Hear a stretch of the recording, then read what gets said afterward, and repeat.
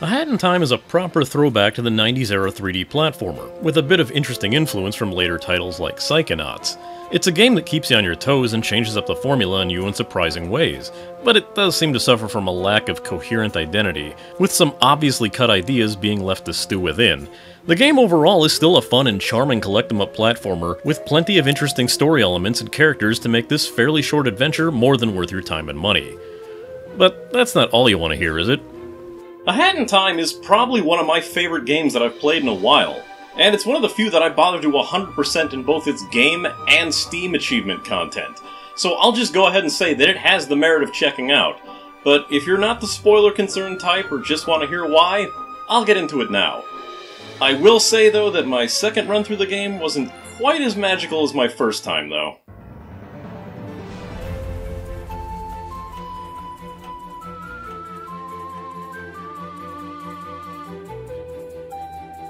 I didn't really have much interest in A Hat in Time, like, beyond, hey, this game looks neat when it was making circles around the Kickstarter gems crowd. Despite that, I decided to pick it up at launch, and holy crap, I was into it. I feel the game had a bit of a slow start and a slight learning curve, but when it clicked, it clicked hard. And for a while, I liked this game a bit more than Super Mario Odyssey. Hey, I 100% did Odyssey too, so if you can get over my previous blasphemous statement, I'll let you know that my love for Hat in Time did not hold up as well as it did for Odyssey, but it's not like I'm playing either game constantly right now. As is apparently a requirement for the collect 'em up, this game has one of the brightest and most colorful palettes and graphic styles. It's fully 3D with all the camera wrestling that that'll entail. In fact, I don't remember having a fight with the camera this much during my first playthrough. Lately, it seems I'm just constantly trying to dislodge the camera from the back of Hat Girl's head, and certain levels feel almost unplayable at times. It's not exactly early Yooka-Laylee levels, but it does come about with that N64 level of unfamiliarity with the camera placement. Just seems odd in a modern game. The game also seemed to really hate me streaming it, as running OBS action and the game made parts seem to chug when I don't remember it running all that poorly initially. I even had a few friends with admittedly potato computers completely unable to run this game while getting Fortnite to passably work. I have no idea what's going on here with the optimization, but it's not normally this bad. The game's music is, well, probably among the best part of the game. And before you say, well, what else did you expect from Grant Kirkhope? I would say, fair enough, but he didn't compose the game. What? He didn't. Kirkhope composed like one track, and the rest were composed by. Oh boy, uh, Pascal Michael Stiefel, who did such amazing work that I'd easily say it outshines Kirkhope's very distinct but still fantastic work. Tracks are distinctly eclectic, too. First area tracks seem more lighthearted, fitting the area perfectly by combining a tropical sound with some Mafia-era jazz. I can't think of anything better to illustrate an island inhabited by Russian Mafia's seafood chefs. Area 2's tracks blend mystery, western, and dance tracks. I know this sounds like a complete mess, but Pascal pulls this off to brilliant effect. The sound is also fitting of the genre and this era of gaming, but with better productions behind it, including voice acting for almost every line in the game. Even the normally silent Hat Girl has some voice acted lines beyond grunts, though I feel a lot of this leads to that overall feeling of cut ideas, as having her suddenly yell, Down with the Mafia! is jarring to some extent, while the rest of her lines are just single word exclamations. It's obvious she has a personality, as you can find in diary entries and how she deals with a character later on, so leaving her as a semi silent protagonist seems weird and lacking.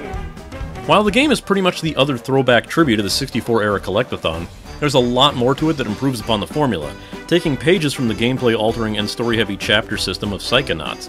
With that, there's still a base way to play the game, though you might find your tasks varying greatly from chapter to chapter. I really like the movement system in this game, but I understand some of the complaints, as it's weird to figure out that you need to press a button to get up after a dive.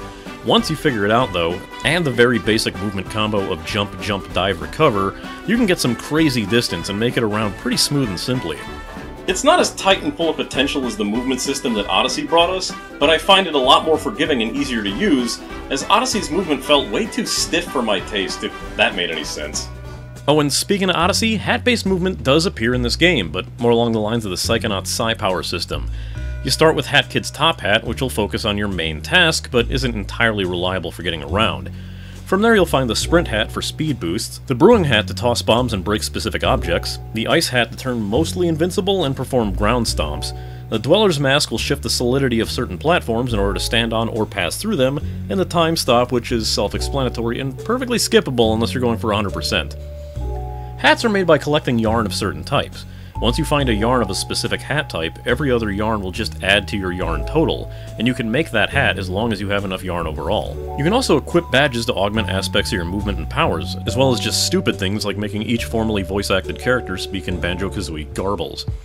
One thing I find odd is the approach to stages. Each area is unlocked in a very Mario 64 manner. You need X amount of time MacGuffins to open a door, which will lead to a new set of stages. However, the stages within are very linear. When you select a stage, you're tasked with something very specific to that stage, and while some areas like Mafia Town and the Subcon Forest are fairly open, sometimes requiring tasks to open more areas, but the Dead Bird Studio changes vastly depending on which task you've selected. In fact, these kind of changes can apply to Mafia Town and Subcon as well, with Mafia Town completely coated in lava for one stage. What I find annoying, especially for someone who always likes clearing out chapters before moving on, is that the game will not let you into some of these chapters until you've completed others to obtain certain hats or badges, many of which are contained within other areas of the game. So you might have to put the Deadbird story on hold to head into Subcon Forest, or leave the final Mafia Town chapter until you've created a hat that you can only find in Alpine Skyline. It's sad because there's a very defined story in here, or at least the remnants of one. This game feels like a game that had a lot of content that was cut out, either in the name of streamlining it or just changing the ideas they had, but almost nothing's explained. Like, why does Hat-Girl have a house-like spaceship? Why and how did the Mafia guy get up to her window to ask for a toll? Why is there a hatch on that window in the first place? MK sure is a lot of just cartoony narrative convenience, but things will show more and more as you go on, especially during a second playthrough. The most frustrating aspect is how often things will seem to be leading somewhere, or answers are hinted at, but then just abruptly stop and become abandoned.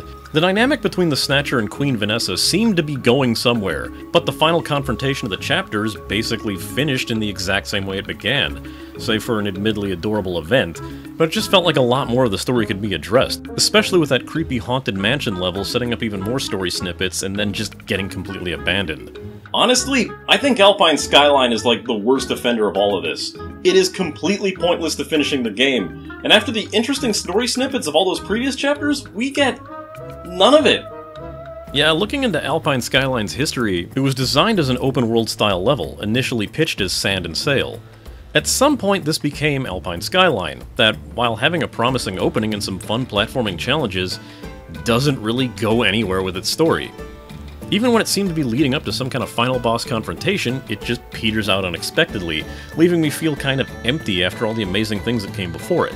And I was looking forward to a boss fight in this area because the fights in this game are on another level, making even the most interesting fights in Super Mario Odyssey just look like tech demos. The bosses will completely shift in their music, usually with a hardcore guitar rock angle, and they go completely ham with their mechanics and depths to the fights. Mafia bosses fought entirely in 2D, but the projectiles and mechanics of this fight serve as a good intro to just how much more complex the fights are compared to what you've encountered so far. The second boss is my hands down favorite, from the setting to the music, which I will go down swinging with my claim that it's the best song in the entire game, as well as the fight having the perfect length and complexity of the mechanics involved. It's a varied and very exciting battle that even changes who you fight depending on your performance. Though I honestly think the Conductor makes far more sense as the boss than DJ Grooves does. Conductor's attitude towards Hat-Girl and his rival DJ Grooves seem like the logical conclusion to his story. He's such an arrogant perfectionist that him losing one award out of the dozens that he's already won seems like the kind of thing that would weigh on him. However, Grooves' motivation is basically, uh, Conductor probably cheated when he won all these awards, so I want to go back and win the rest of them, and if you don't let me, I'll kill you. Which makes absolutely no sense compared to how he's treated you before.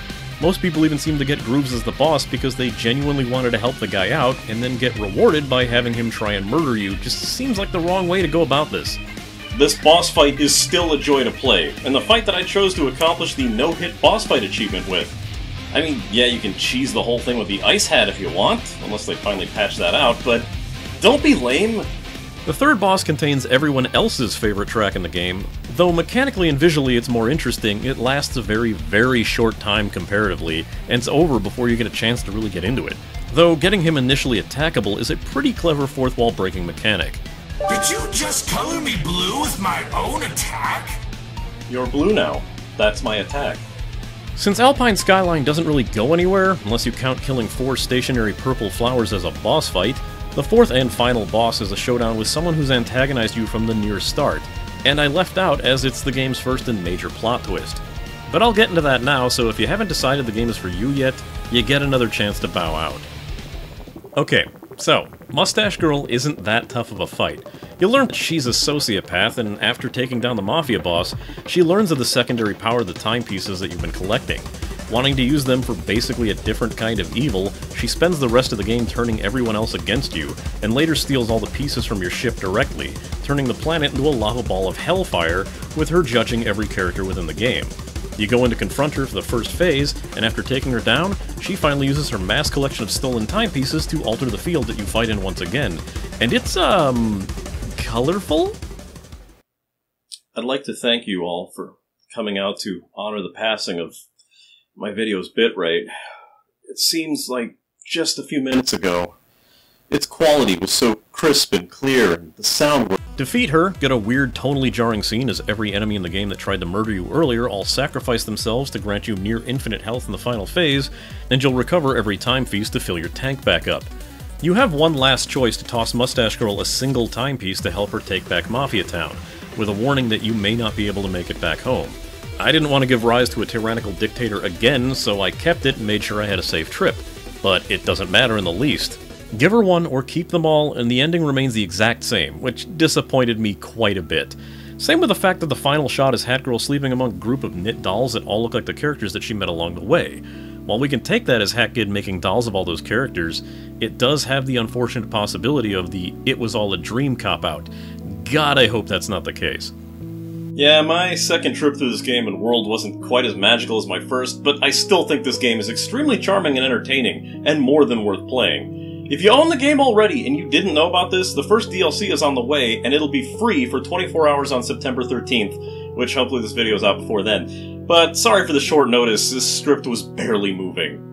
All said, A Hat in Time still gets a solid go rating from me. It's a very well designed 3D platformer, and though a bit on the short side, it doesn't feel over bloated in its content. Quite the opposite, really. Well, take care, and I hope to see you on the next one. So, uh, no more promises on when I'm making the next one of these. I clearly can't keep a schedule set. I think I'm still way out of my element here and getting this down proper, but if I get back to any sense of normalcy, I would still suggest stopping by my Twitch channel, as Weeaboo Wednesday's still going strong. We're getting pretty far along the Octopath, and there's plenty more indie games that I do plan to show off live on there. Follow me on Twitter, where I ramble about nothing until I'm bombarded with British Sony fanboys, by heading over to at ChaosD1, or save yourself the headache by looking at nothing but stream announcements and show updates with at IndieStop. That's Indie with a D1. I should probably clean that up a bit, huh?